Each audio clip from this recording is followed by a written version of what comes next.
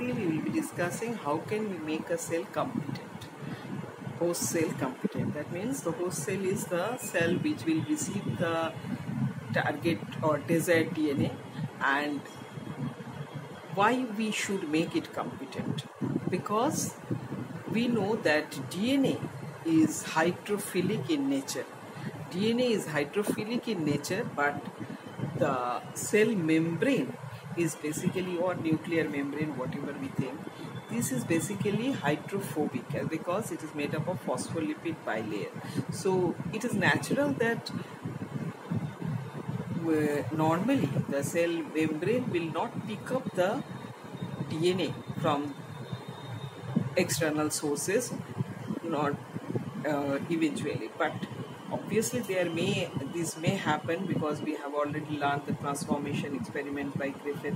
So but normally when we are doing this huge biotechnological processes so we have to make some measurements so that we have to make some procedures so that the cell can easily take the DNA pick up the DNA inside. And that is the competence of the cell. So how can we make a com cell competence? Let us think so at first we have to think whether the cell is having cell wall or not. Clear, suppose if the cell if the cell is having cell wall like bacterial cell, plant cell, fungal cell, then what we have to do? We have to first remove the cell wall. Clear and if it is animal cell, we don't have to remove the cell wall. Cell wall is already not there. So cell membrane is the outer covering. And if these are the cells, then we have to remove the cell wall and make it like this we are if it is a bacterial cell we are mm, can make it competent by treating with calcium chloride or divalent cation. Now when we are why you are using the divalent cation which should be have a specific concentration. We can the divalent cation will be used.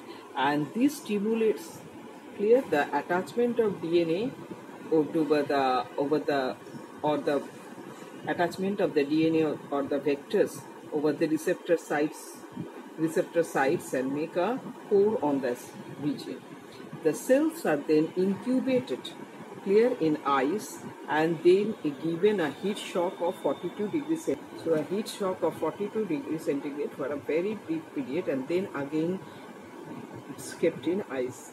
So when we are, we are giving heat shock of the DNA and now directly enters within the cell. So this is how the plasmid can enter in the bacterial cell. Now there are other methods. So here the the procedure which we are thinking about these are mainly the this is a procedure where the vector has been used to insert the target DNA into the cell. But there are certain cases where we don't use vector, we use directly the target cell target DNA into the cell. So there are certain procedures also like micro injection. Clear micro injection is a procedure which is used in the is a vectorless. So here you can see this is the procedure for micro injection. It is very precise and is done absolutely under the microscope. It is mainly meant for the animal cell where a very pipette, micro pipette is used, which is having the uh, suction and finally the DNA is poured directly into the nucleus and so you can see and the dye is used to see observe whether the DNA has been poured in or not. So this is micro injection. So where a micropipette is used and is done completely under the microscope. Under microscope. Another method is ballistic gene gun. Here where the um, tungsten or gold particles are coated with the desired DNA. Tungsten or gold particle is coated with the desired DNA and they are kept in the this um, nylon microprojectile clear and this they, this is the plate where the target tissues are kept and this is the plate to stop the nylon microprojectile so it is kept here, here the on the the design tungsten or gold coated with the desired DNA is kept on the nylon microprojectile and by the great force it is inserted into the cell which is present here. But the projectile is blocked till this portion because this is a plate which blocks the movement of the microprojectile any further and but a great but with, a great force this uh, desired DNA which uh, is coating the gold or tungsten is enters into the target cell. And another device is there where the high voltage electric current is used electric uh, two high voltage electric current is used to make a tiny pores in the cells clear. And finally by a projectile the you can see here this is the finally by the projectile it is the DNA is passed into the cell. Now when a protein encoding gene is expressed in a heterogeneous cell, it is called recombinant protein. And the cells having this gene of interest can be grown in a large scale or in small. When they are grown in a small scale, like in laboratory purpose, they are extracted by various processes and purified. When we need them, when we need them in a large scale, then there is a continuous culture medium where from one portion the medium is given and to maintain the exponential growth of the host or this transform, transform transformant. And from the other portion the product or the medium along with the product is taken out which is later on purified and for this continuous culture we use bioreactors. So bioreactors that use the, these are the devices which is used to maintain this continuous culture when we require the product in a very large scale. So for large scale production of the recombinant protein we use bioreactor. Now what is bioreactor? These are the large vessels of very large volumes and where a large amount of protein can be produced and there are two types of bioreactors stirred tank bioreactor and sparge tank bioreactor. Basic uh, phenomena is same. Only fine few fine differences are there. So let us discuss what are the two types of bioreactors. So you can see here this is a bioreactor.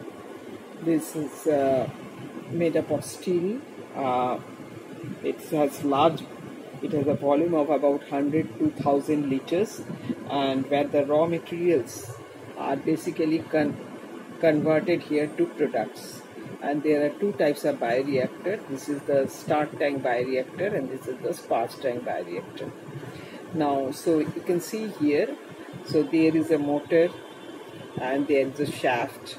And on the shaft there are various blades are attached and the medium along with the host is inserted here and it is kept up to this level.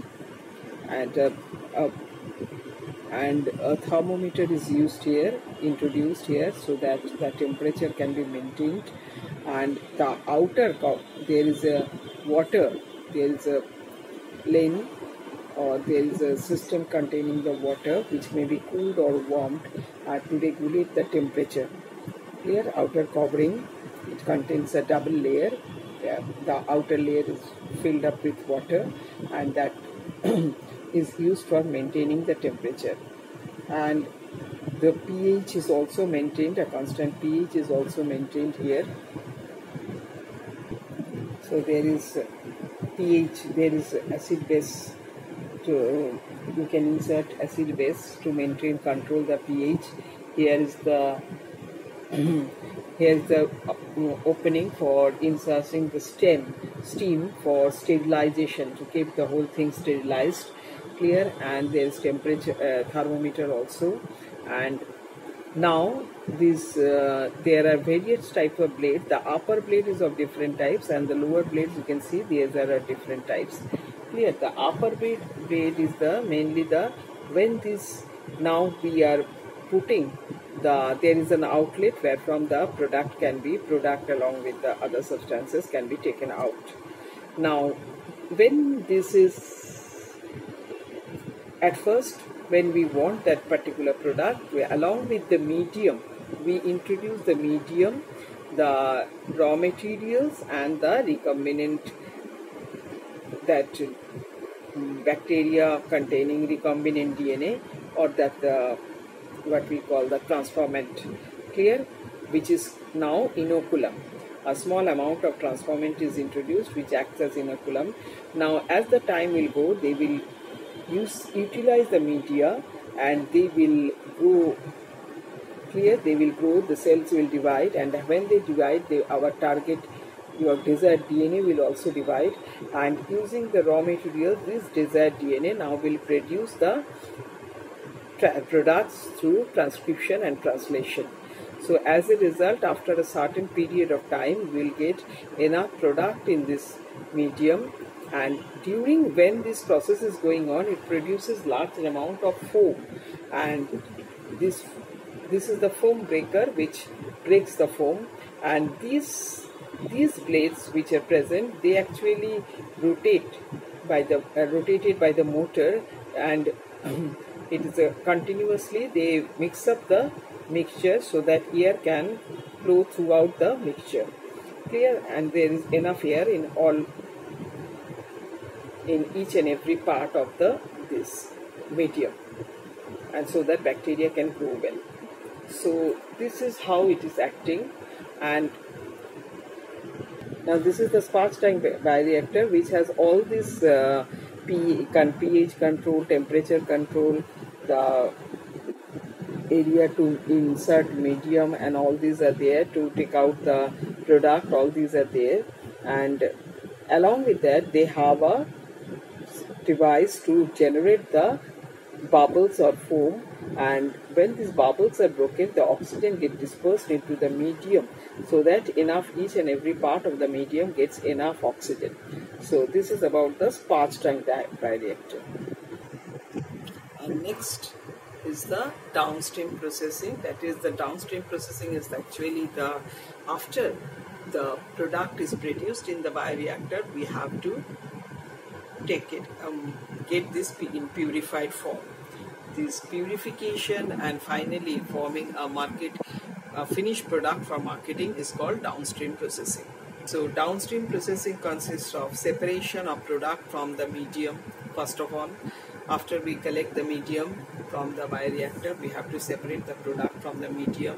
Then purify the product clear from whether the other substances because there, there will be that bacteria there will be certain amount of medium along with the product. So we have to purify the product and next we have to because this product we are not going to use in one day so we have to formulate a proper preservative for the product and we have to use the preservative to preserve the product. Next is the quality control in the testing clear various clinical testings for the drug if it is drug then there will be various clinical testing and certain quality control measures are done. And finally it is ready for the marketing